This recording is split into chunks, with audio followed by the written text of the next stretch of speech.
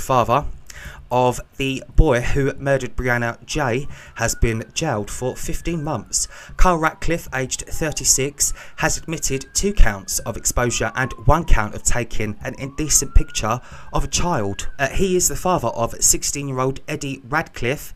Who was jailed for at least 20 years after the horrific attack on Brianna. At Manchester Crown Court heard that Ratcliffe exposed himself to two 16 year old girls at a bus stop shortly before his son went on trial. He also took an indecent picture of the child by covertly recording video of her in a changing room in August last year.